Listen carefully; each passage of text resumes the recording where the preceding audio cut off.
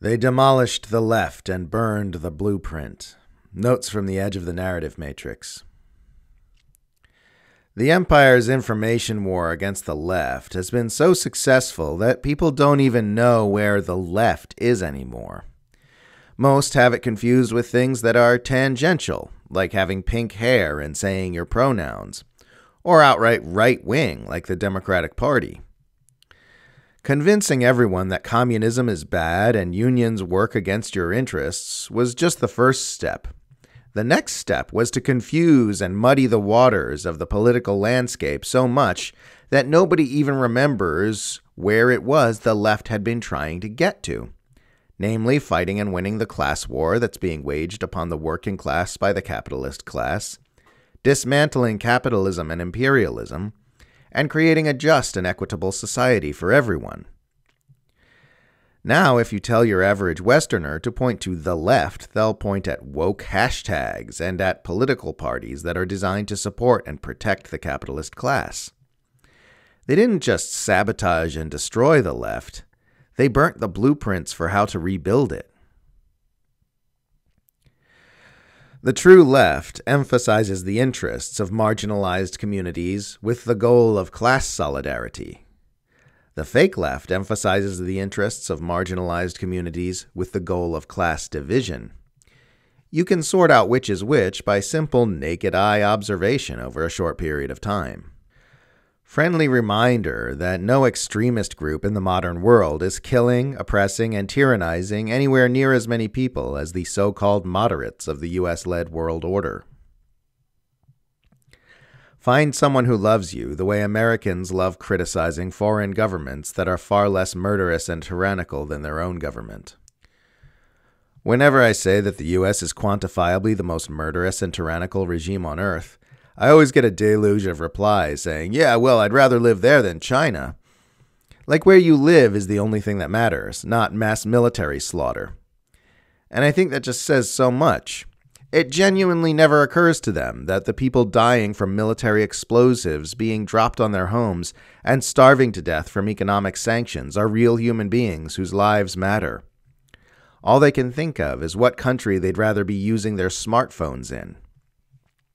The fact that the U.S. happens to export most, though certainly not all, of its murderousness and tyranny overseas does not make it less murderous and tyrannical than the governments the media have trained you to hate. The people it kills and terrorizes are just as human as you. It says so much about how propaganda addled that population is that the lives of foreigners don't even register in their assessments of a government's murderousness and brutality skipping instead to the fact that they're allowed to call the president Brandon on social media, which, as we've discussed previously, is not even a real measure of freedom anyway. Love how it's almost universally agreed that Biden is knowingly starving people in Afghanistan for no valid reason, and it's still just happening anyway. There's a Wall Street Journal article. The Biden administration won't release any of the roughly $7 billion in foreign assets held by Afghanistan's central bank on U.S. soil after the killing of Al Qaeda's leader in Kabul, according to U.S. officials. And there's a tweet by Mehdi Hasan Shameful. People are dying from hunger in Afghanistan, and this is not our money, it's theirs. Virtually everyone who knows about the issue wants Biden to stop starving people in Afghanistan, even people who stand to benefit material from their starvation, and he still just won't. There's another article from MSN.com. Families of 9 11 victims urge Biden to direct $3.5 billion worth of frozen assets to the Afghan people. This is their money, not ours, they argue.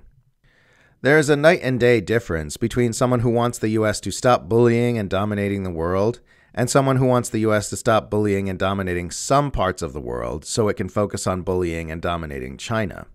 They're really nothing alike. Faux populists on the right oppose some aspects of the U.S. war machine, but they support other aspects and don't oppose the empire itself. Faux populists on the so called left provide little or no resistance to the empire, they just want the empire to give them health care. Wealth is meaningless if everyone is wealthy. Power is meaningless if everyone has power. The kings of our day have a vested interest in keeping everyone poor and powerless because if everyone is king, then no one is king. Imagine wanting to be a cop as a kid, wanting to grow up and get into the police academy so you can fight crime and bad guys. And then you get to the police force and you find out the whole job is writing tickets and destroying homeless encampments. Question mainstream politics and they'll tell you to support the lesser evil. Question capitalism and they'll say it's better than any other system. Question the empire and they'll say it's better the US rules us than risk anyone else. It's all lesser evilism in support of evil. Every time you point out the dysfunctional nature of our systems, you're told, well, it has to be that because otherwise it would be something far worse. Oh, yeah? Anyone benefiting from you believing that? Any powerful people pouring energy into mainstreaming that idea, perchance? It's like the abuser who says, Go on, leave. No one will ever love you like I do. You'll fail and you'll come crawling back and the victim stays out of fear of what's going on on the other side of the unknowns inherent in that blind leap. But at some point, you've got nothing to lose.